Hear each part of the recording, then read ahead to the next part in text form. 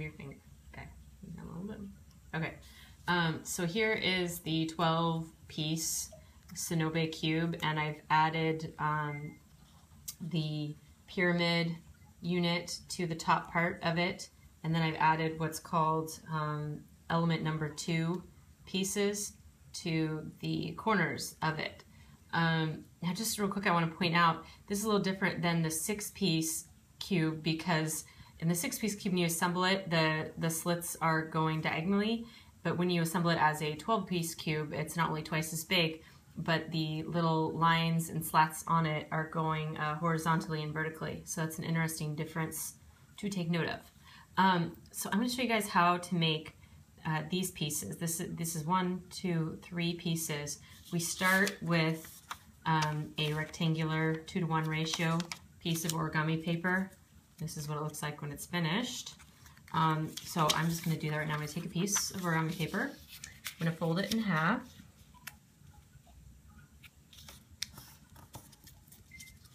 And then I'm going to cut it right on that crease that I just made.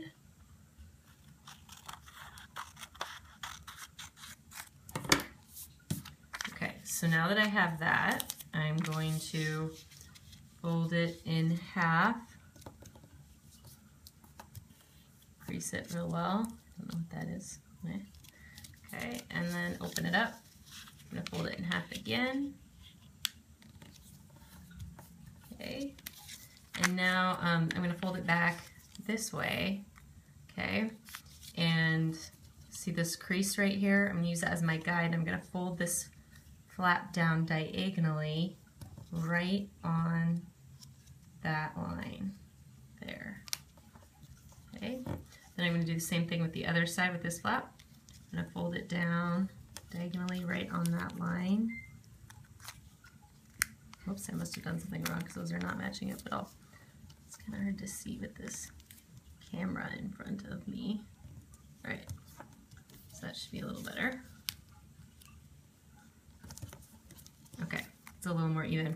So now, let's see what the back side of it looks like.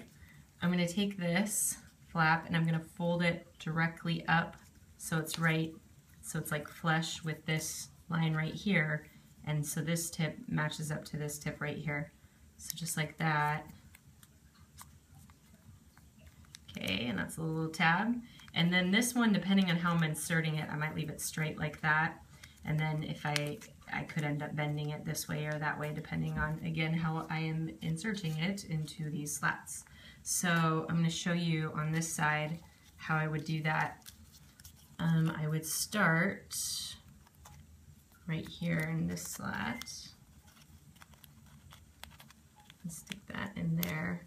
Again, you might have a little trouble getting it in there. I'm actually going to cheat, don't tell anyone. This just a tiny bit. Make sure it fits in there. Come on. Just takes a moment. just have to keep trying till it works. Come on. Oh, so difficult. You're like, can you expect us to do this and you can't even do it? Yeah, baby. Hold on. It'll work, I swear, it always works.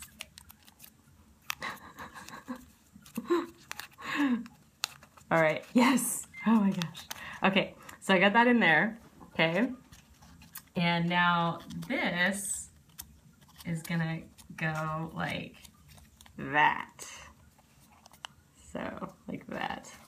I'm going to tuck this piece into this little part right here. Okay. Ta-da! Okay, so you see how that goes in there and then you can go back and kind of re recrease that and make it look good. Um, make sure it's in there all the way. Then, a little bit, thank you. Um, I can show you how to put another piece in right here. I'll just, let's see, I'll stick this in right here. Okay, and then I'll bend this around and stick it in right there.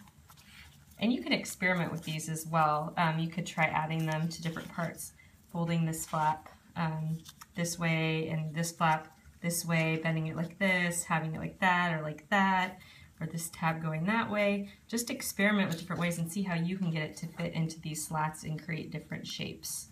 Um, but anyway, I'll just stick this in here real quick. Um, let's see. I'm gonna do right here. Stick it into there, and then can also stick it into this same flap. This is the one that was tricky before. Oh boy. Better. There.